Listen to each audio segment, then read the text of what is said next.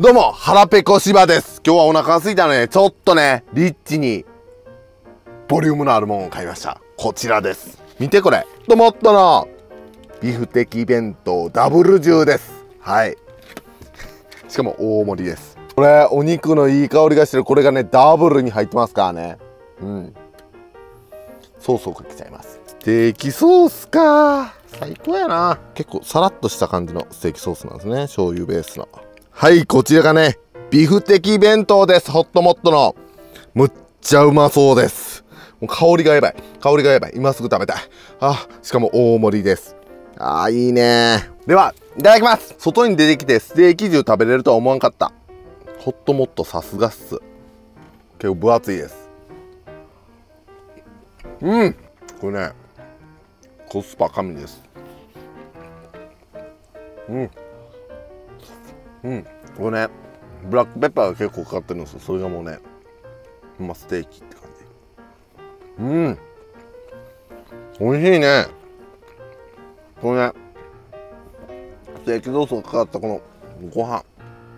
ねうまい。地下水の原理ですよ。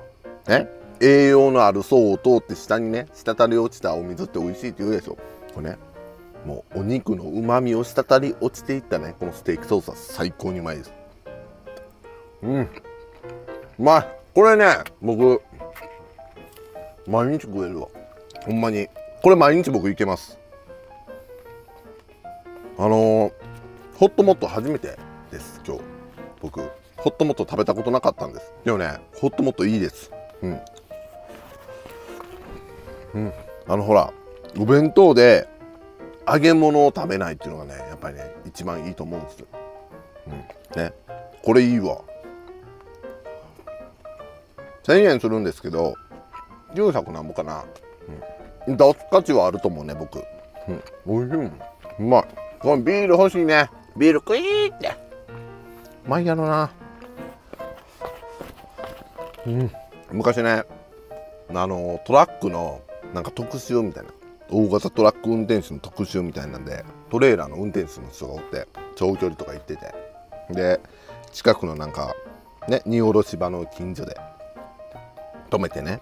で同じ会社のね同僚とこのトラックの中でねあの事前にスーパー行ってお刺身とかあのいろんなね当てを買うてきてねこっちとこっちで2人座って。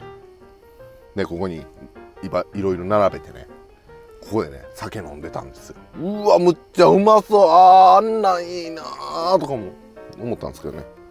今やもうねそんな風に止めれないっていうね。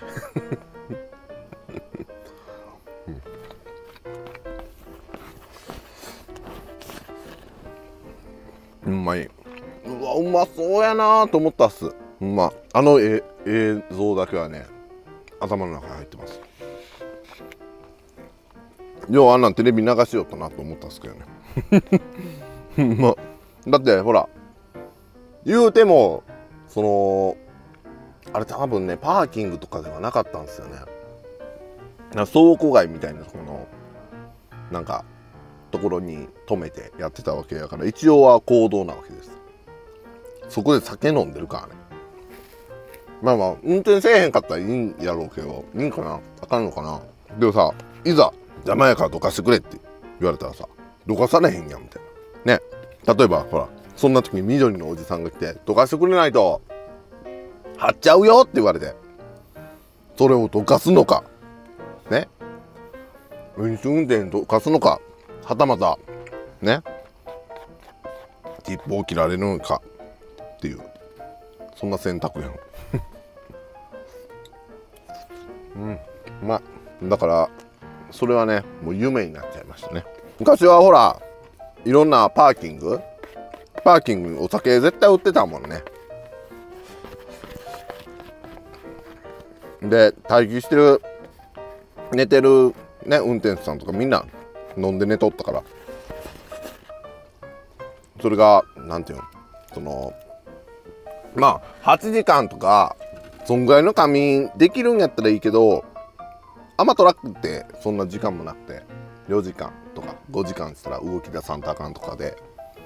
でそれでも結構運転手の人って酒飲むから日本酒グイグイって2杯ねワンカップ2個いって。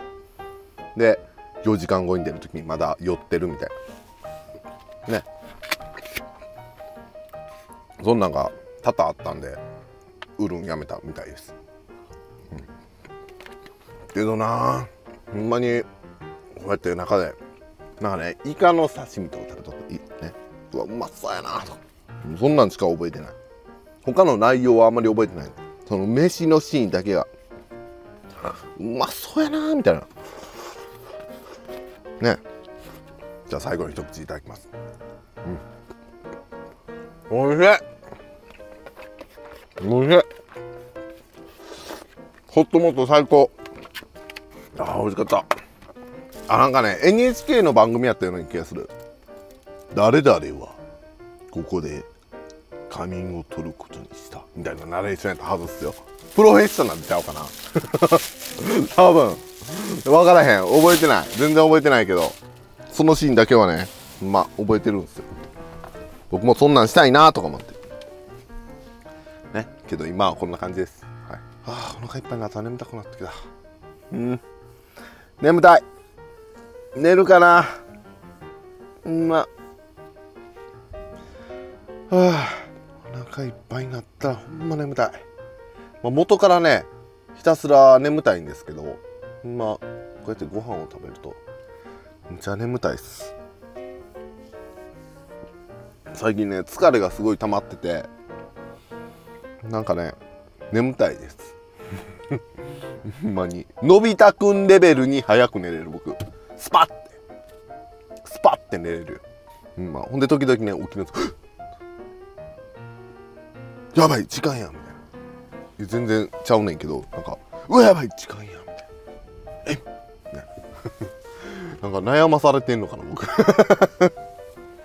はいということでね今日は全然トラック雑談ちゃうかったけどね僕の思い出話でした。